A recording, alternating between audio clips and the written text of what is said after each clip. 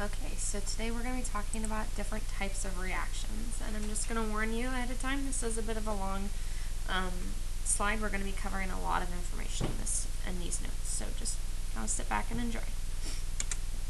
Uh, so chemical reactions are processes in which one or more substances are converted into new substances with different physical and chemical properties. The reactants, the substances that contribute to or are needed in a chemical reaction, and the products, substances that are produced or made by a chemical reaction. So that's kind of the terminology that we're going to be working with here. Our reactants are the things that go into or um, are needed in order to create the reaction, and the products is what is, is made. So without reactants, there's no reaction, but if there is a reaction, there will be products. The thing to remember about chemical reactions is that those substances that we start out with and the new substances that we form, we have the same initial elements on both sides. Uh, they are going to be combining into different compounds, but the elements don't change. Now, reactions happen uh, to make new new substances, and they occur because these new substances are made by breaking existing bonds, rearranging the atoms, and then forming new bonds. So for example, I have methane here and oxygen, or CH4 and O2. And if I break the bonds associated, the carbon-hydrogen bonds and the oxygen-oxygen double bonds, I can rearrange these and make carbon dioxide and water. Um, so again, I still have the same carbon, hydrogen, and oxygen on the left, and carbon, hydrogen, and oxygen on the right. Now, right now, you'll notice that I don't exactly have this balanced. There aren't the same number of everything on both sides, but we'll get into that um, tomorrow when we start talking about balancing chemical reactions. Substances undergo these chemical reactions with each other to gain stability, and this is based on the reactivity of different substances. Now, we like to describe what happens. Chemists like to describe what happens. So we describe what happens in chemical reactions by using chemical equations. It's a lot like math. Uh, we can do word equations where we give the chemical names of reactants and products. For example, calcium plus oxygen will yield calcium oxide. Or we can use formula equations where we give the chemical formulas of the reactants and the products. So Ca plus O2 makes CaO. Same exact reaction, same um, exact product, but just using formulas versus words. Now, we're going to be looking at and studying five specific different types of chemical reactions. The first one would be synthesis reactions or direct combination reactions, then decomposition reactions, single displacement reactions, double displacement reactions, and combustion reactions. So we're going to now detail out each of these. Sorry guys, I'm not feeling very well. Um, so a synthesis reaction or direct combination reaction occurs when you have two products, A and B, and you're going to make, sorry, two reactants, A and B, and you're going to make one product, AB. Or like these little dancers here, two single partners coming together to make one partnership. So synthesis reactions have two or more reactants, these can be elements or compounds, and they come together to form one product, which is usually a compound. A plus B making AB. Or, for example, sodium plus chlorine making sodium chloride, and here we've actually balanced the reaction. But you can see that we start out with two reactants and we make one product. That's the way that you would identify a synthesis reaction. Uh, another example would be uh, iron plus oxygen, making iron 3 oxide. Okay, again, two reactants making one product. Now, decomposition reactions are the opposite of synthesis reactions. It's taking a, a combination or a, uh, um, a compound and breaking it up into its constituent elements. So, for example, uh, we've got one reactant, usually a compound, which is broken down into two or more smaller products. These can be compounds or elements, it doesn't matter. So AB becomes A plus B. Uh, for example, water can be broken down into its constituent elements of hydrogen and oxygen gases. So you would be able to identify a decomposition reaction by looking at the fact that there's one reactant making two products. Now, single displacement reactions are where one element comes in and displaces a different element from a compound. So it's a single lone element displacing. So it's an uncombined element displaces an element found in a compound to form a new compound, leaving the displaced element uncombined. So you're going to have like a compound and a lone element as reactants, and then you're going to make a new compound with that leftover element as a product. So A plus BX making AX plus B.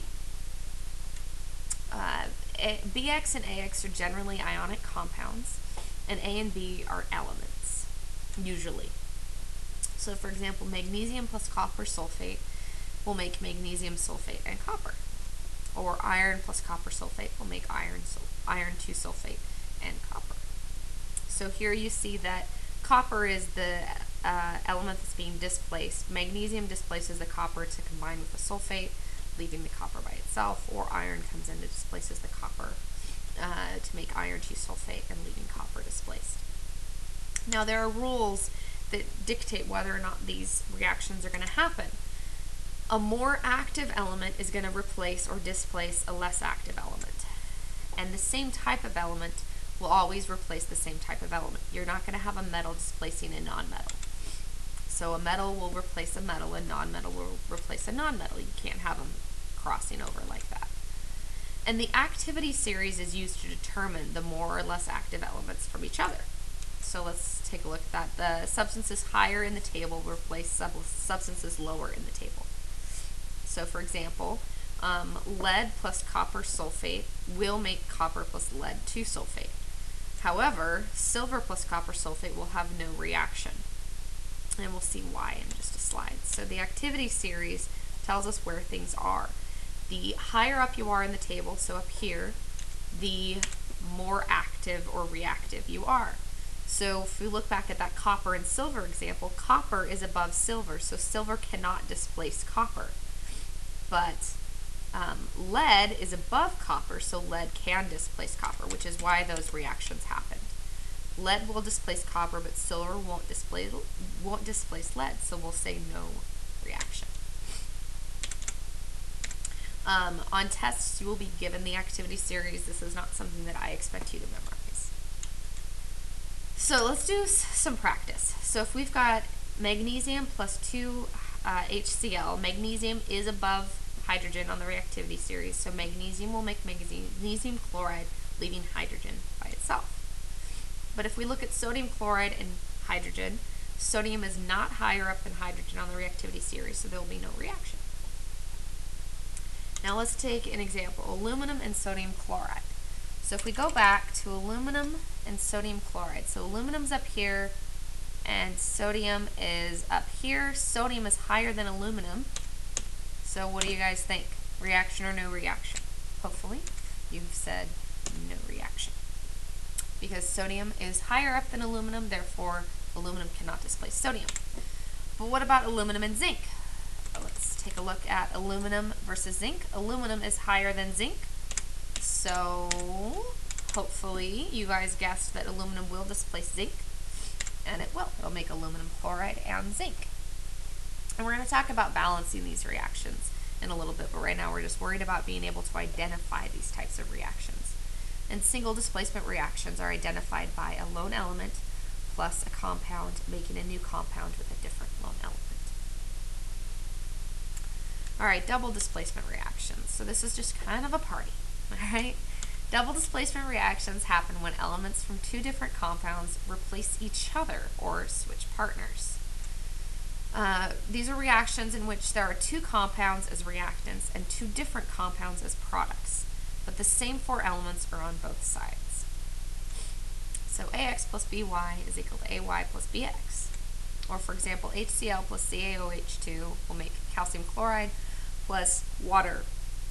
So hydrochloric acid plus calcium oxide will make calcium chloride and water. Notice that the calcium now partnered up with the chlorine and the H and the OH partner up together, but HOH can more easily be written as H2O, or water. Now there are, of course, rules that dictate this, just like there were rules that dictated single displacement reactions.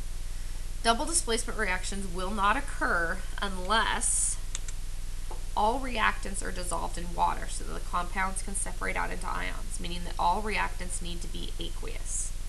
And that's a phase label that we'll start talking about soon. And then one of the following also has to occur. Either one of the products is a gas, one of the products is a precipitate, meaning a solid, or one of the products is water. So all the reactants have to be aqueous, and then essentially one of the products needs to not be aqueous. It needs to be a gas, a solid, or water. And then a table of solubility rules, which you will also be given on a test, can be used to determine if a precipitate is going to be formed or not.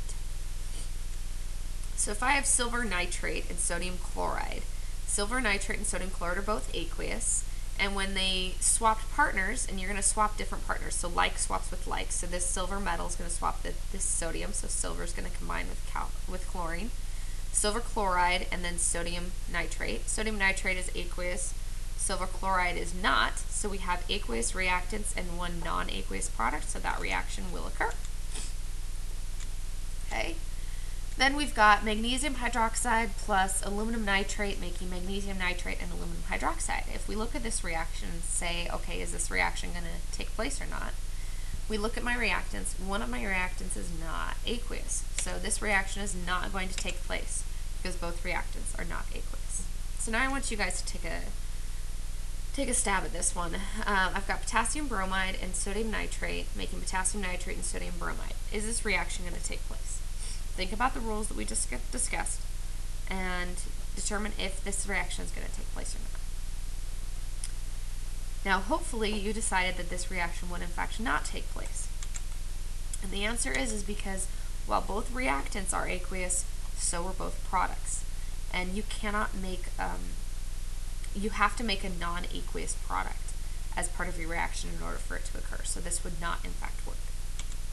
But what about sodium hydroxide and hydrochloric acid, making sodium chloride in water? Would this reaction happen? And hopefully the answer for you is yes, because both reactants are aqueous and water is a product, which is one of the um, possible options for our products in order for this to happen. Alright, and lastly, let's look at combustion reactions, and I'm identifying combustion reactions. And these are reactions where two of the products are going to be carbon dioxide and water and oxygen or O2 must be a reactant. Reactions, combustion reactions are reactions that occur with burning and they require an oxidizing fuel such as oxygen. So C3H8 plus oxygen making three carbon dioxides and four waters is an example of a combustion reaction. Now don't be fooled by a reaction where you produce carbon dioxide and water. Those are not always combustion reactions. They must not only produce carbon dioxide and water, but they must have oxygen as a reactant. So make sure that you are aware of that. So those are the different reaction types that we're going to be talking about. Uh, tomorrow we're going to look at identifying these reactions and determining if they're going to take place or not. And then from then there we're going to move on to balancing these reactions and after that we're going to start trying to predict products and all that stuff. It's going to get really fun. So have a good night guys.